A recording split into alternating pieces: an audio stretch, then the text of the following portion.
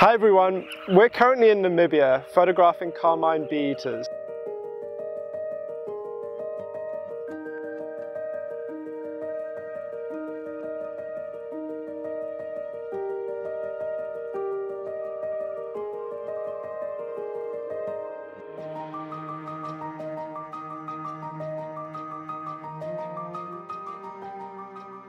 We have amazing access to this wonderful Carmine bee eater colony. It truly is a unique experience. And during this video, we're going to be sharing some of our tips and tricks to getting some great shots. And at the end of the video, we'll be able to share some of our most favorite images. Hope you enjoy.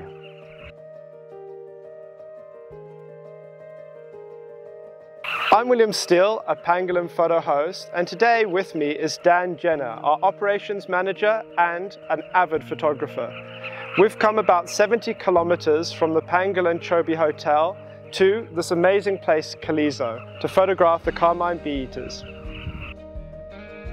Every year between September and November, these southern carmine bee eaters return to the same breeding ground on the banks of the Zambezi River.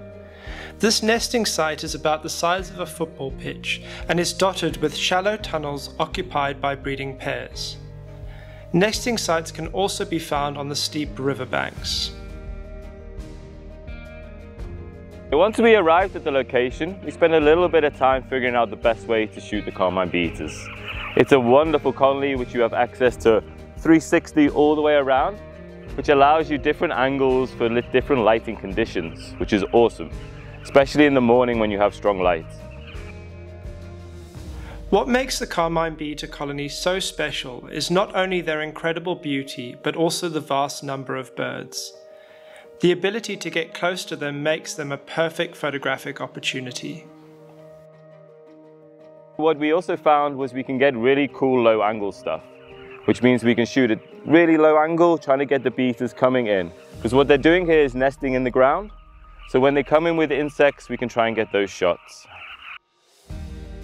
The types of behaviour you could see and hopefully capture are interactions between mating pairs, fights among rivals, and lots of birds flying back to their nests with their insect of choice. Something we've really enjoyed photographing here is seeing how many different insects the carmine bee eaters fly in with to feed their chicks. So we've been competing a little bit about who can get the best in-flight shot with an insect in the mouth.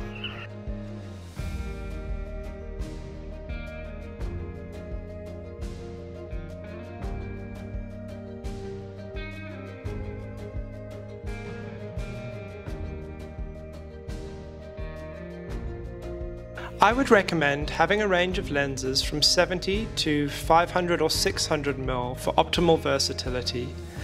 A longer lens is beneficial for zooming in and capturing intimate moments, such as birds landing with insects in their beak. I would also bring a wider lens, such as a 70 to 200 or 100 to 400 mm, as there are great opportunities to capture the vast amounts of birds at the colony. Using a big heavy prime lens might get you nicer photographs, but it is very tiring holding it up for long periods of time. So if you are coming to a destination where you know you're going to spend a long time with subjects, I would genuinely suggest bringing a tripod.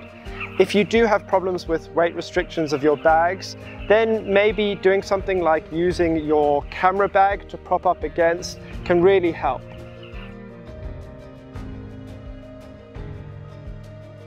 In terms of camera settings, we're trying to keep things as simple as possible. So our biggest challenge is how fast the birds are flying. So we're keeping our shutter speed at least 4,000. I would like to have it higher than that, maybe 5,000, but because we've got a bit of a cloudy day, we don't want our ISO going too high. So in terms of ISO, we're keeping it on auto. Because we've constantly got changing angles and light conditions, it's the easiest way to maintain a, a pretty evenly exposed image.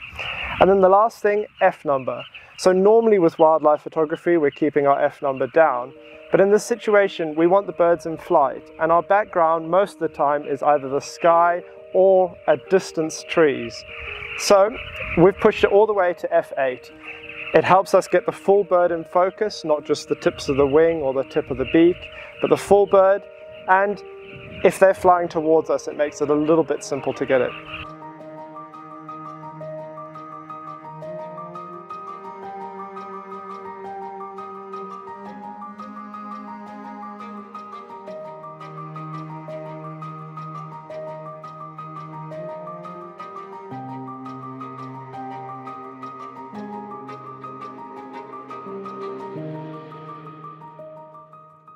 So we arrived very early this morning to find very overcast and damp conditions. So we tried to go against our norm, which is our fast shutter speed, by shooting in a low shutter speed and hopefully getting some cool panning shots.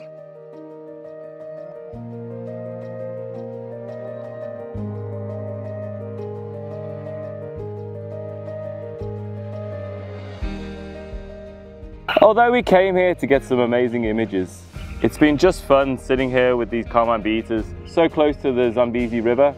And sometimes it's nice just to put your camera down and watch the bee eaters. Yeah, it's been a really fun experience.